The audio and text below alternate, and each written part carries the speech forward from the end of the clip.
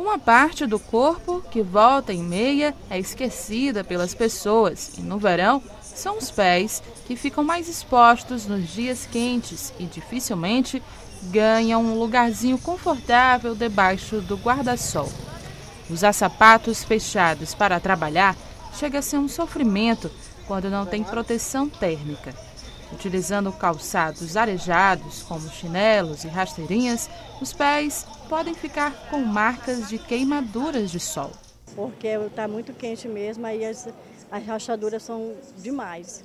A senhora costuma usar mais a rasteirinha, é mais leve, né? É, rasteirinha mesmo, que é melhor. E principalmente aquela sandália mais confortável e refrescante, né? Além disso, a falta de cuidados com os pés pode ocasionar ressecamentos, micoses e inchaços.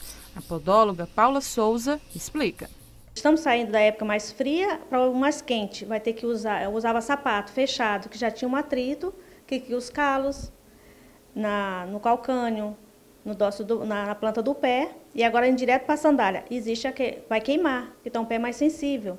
Né? Então é melhor estar tá usando e hidratando após usar o sapato em casa, porque agora as rasteirinhas essas que são sequinhas, isso maltrata muito os pés, né? E vai ocasionar as rachaduras.